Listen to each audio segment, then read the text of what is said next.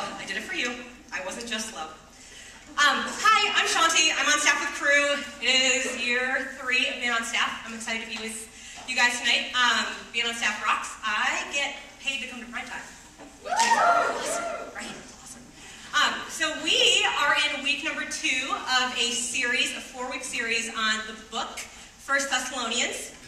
And so we are going to look at uh, the second part of this book today. Last week, if you guys were here, James walked us through the first chapter. So we talked about the spiritual movement that was growing in the city called Thessalonica, and James talked to us about faith, hope, and love, right? These kind of three major components of spiritual movement. So we got a lot of work to do tonight, you guys. We got, we got, we got some good stuff to go through. But first, I wanted to ask, you know, since we're like going through the Bible, I thought it'd be cool if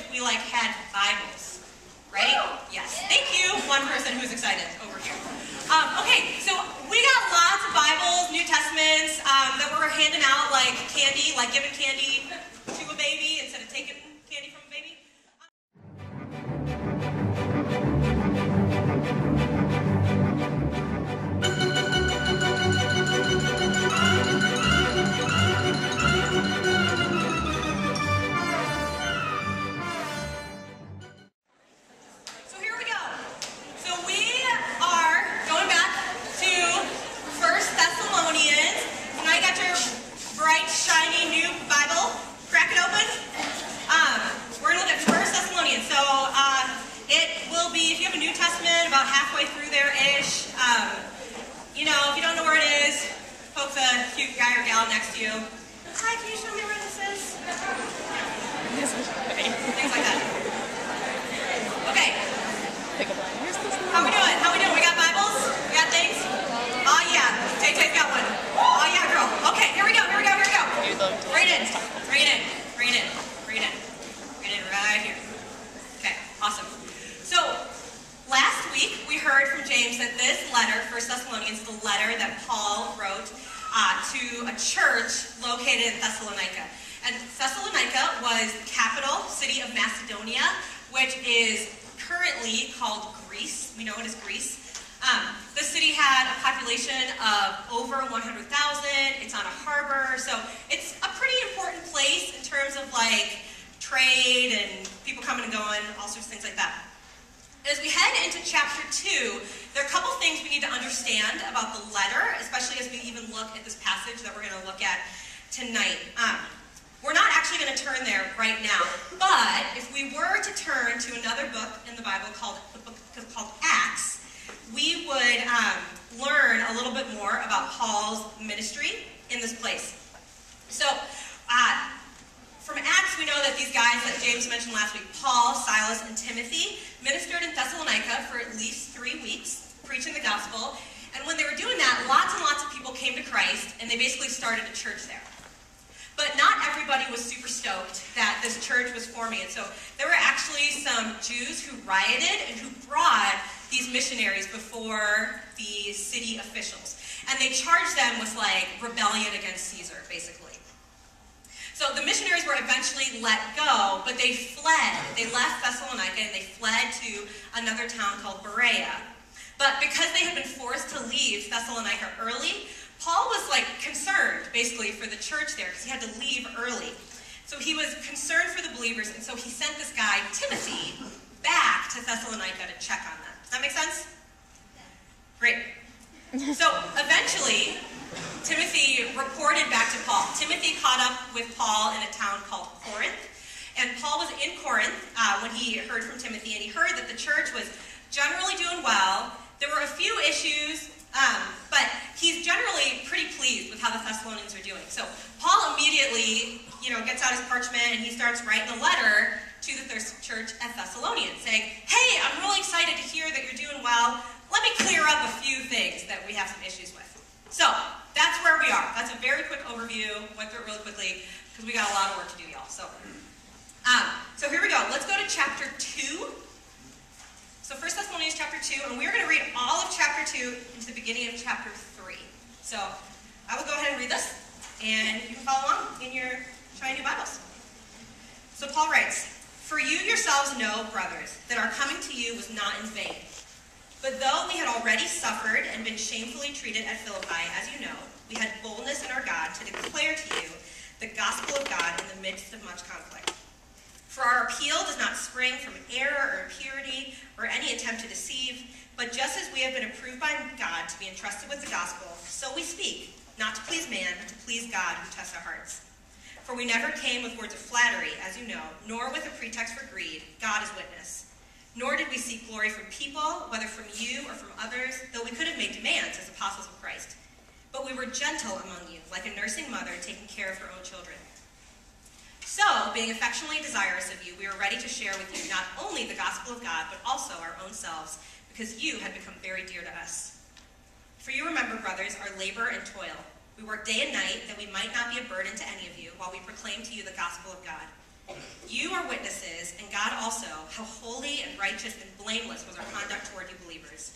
For you know how, like a father with his children, we exhorted each one of you and encouraged you and charged you to walk in a manner worthy of God, who calls you into his own kingdom and glory. And we also thank God constantly for this, that when you received the word of God, which you heard from us, you accepted it not as the word of men, but as what it really is, the word of God, which is at work in you believers. For you, brothers, became imitators of the churches of God in Christ Jesus that are in Judea. For you suffered the same things from your own countrymen as they did from the Jews, who killed both the Lord Jesus and the prophets, and drove us out, and displeased God and opposed all mankind by hindering us from speaking to the Gentiles that they might be saved. So as always to fill up the measure of their sins, but wrath has come upon them at last. But since we were torn away from you, brothers, so Paul's going to talk about how they had to leave Thessalonica.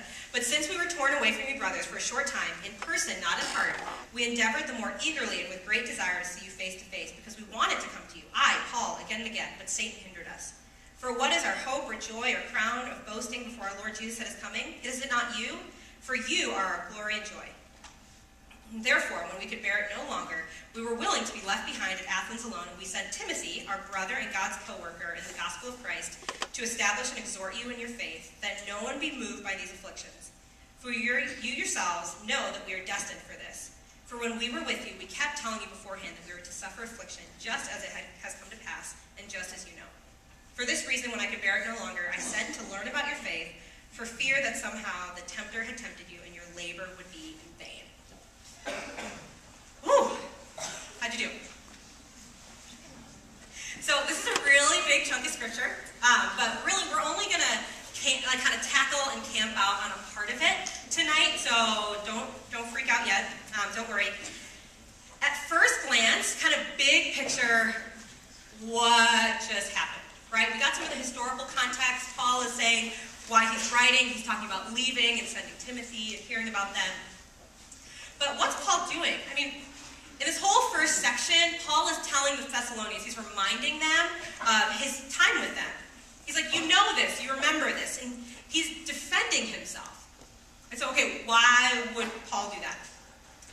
Remember that Paul got run out of town, right? Paul got totally got run out of town. And it's pretty probable that the same people that ran these Christian missionaries out of town were the same people who were slandering. So Paul and Silas are hearing reports from Timothy of what's going on in Thessalonica. And basically, like, Paul is writing to like defend himself against people who are smack talking him, is essentially what it comes down to here.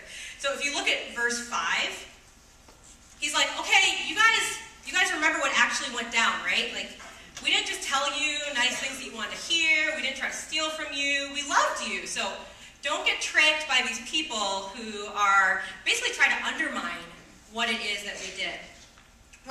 The time that we had together and what it is that you learned from us. So that's kind of the big picture of what's going on here, what Paul is doing. He's defending his ministry. But what I want us to do tonight is actually to go from there and to spend the rest of our time uh, looking at Paul's actual description of his ministry with the Thessalonians. Because in this passage of Scripture, we actually get one of the clearest examples, one of the clearest outlines that we have in the Bible of ministry, of especially this thing that we call discipleship. So we're going to start up in verse 4. So it's up on the screen now, but you can open your Bible. So verse 4.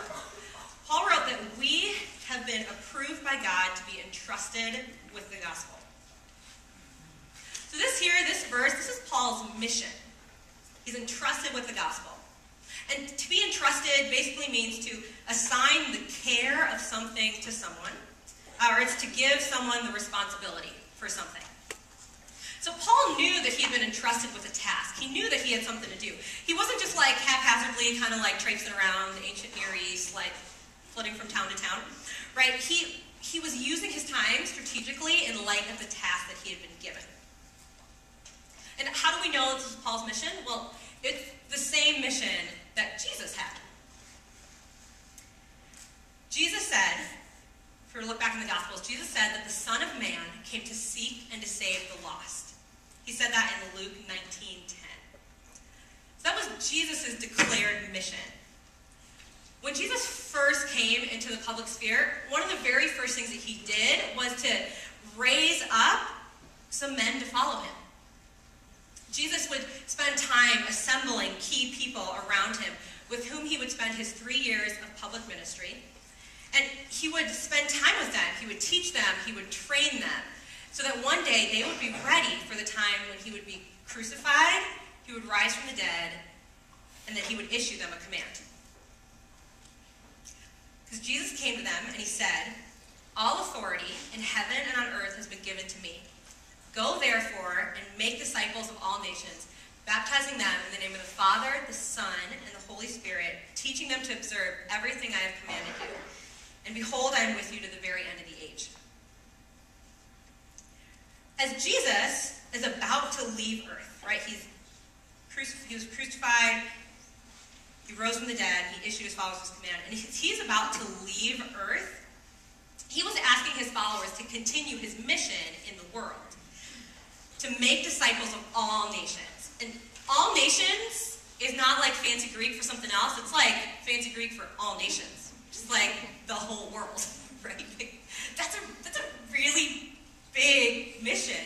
It's a really big scope. So Jesus wants his followers to pick up where he has left off and to help the whole world believe in him. And again, that's huge, but in the very same breath, Jesus has actually given us the key to how to fulfill that.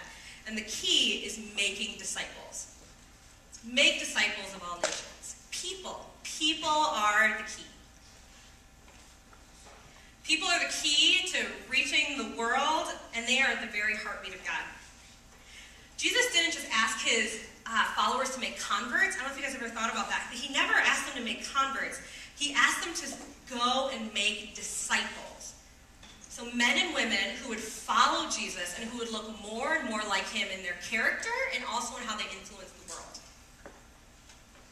That's how the whole world was going to hear about the good news of Christ. People investing in people, making disciples.